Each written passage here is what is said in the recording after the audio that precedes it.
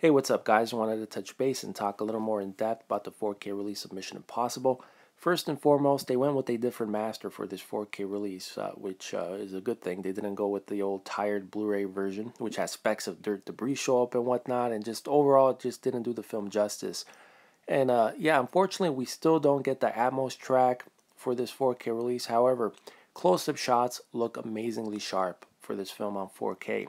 You can make out the fine details basically on all the characters' faces during close ups.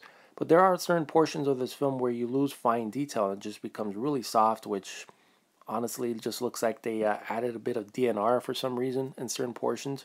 Not throughout the whole movie, just certain areas of the movie.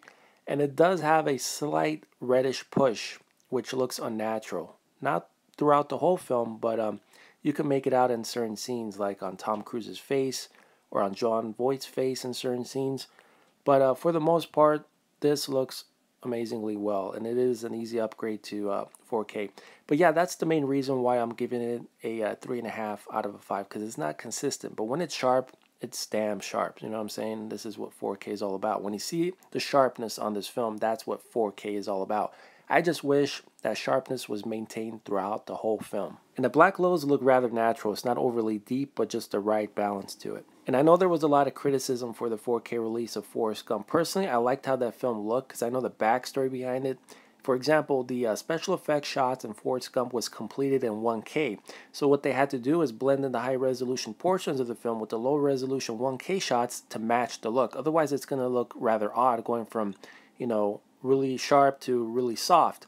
So uh, that's why DNR was applied. Sure, you do lose a bit of fine detail, and yeah, the colors could have been a bit more uh, better, but uh, it is what it is. Uh, it is shot on film, so no matter what you do, it's not going to be razor sharp because naturally there's a bit of uh, softness with uh, movies that are shot on film. And yeah, other than that, um, you know, some people are going to like that, some people aren't. You just, you know, take it for what it's worth. But in terms of Mission Impossible, like I said, the fine details look amazingly well. I just wish it was a bit more consistent. I wish they went a little more easy on the reddish push in certain scenes. But um, yeah, other than that, it is a worthy upgrade over the old Blu ray release. I'm sure some people watch Mission Impossible and absolutely love the picture quality and give it a 5 or a 4.5 or whatever the case may be. Yeah, I just wish we had the Atmos track for this. It would have been, you know, the perfect opportunity to get that going for this 4K release. But Anyway, that's my rant. Thanks for hearing me out, and I'll see you guys in my next update. Take care.